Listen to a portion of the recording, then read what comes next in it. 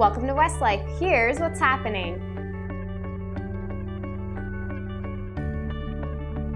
On November 27th, we're hosting our annual meeting, and we want to invite you, whether you're a member or not a member, we want you to come and look into last year and see what God has done this past year, and then also dream with us as we look forward to the future.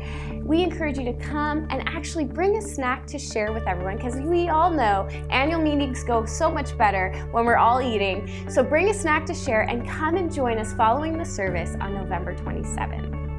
On December 4th, we are excited to host a public skate over at Springbank Park for all seasons. We encourage you to come. There's going to be hot chocolate and coffee and so much fun for you and the kids as we skate and just enjoy and celebrate the season of Christmas. So that's December 4th from 2:30 to 4:30. We really hope you can join us there.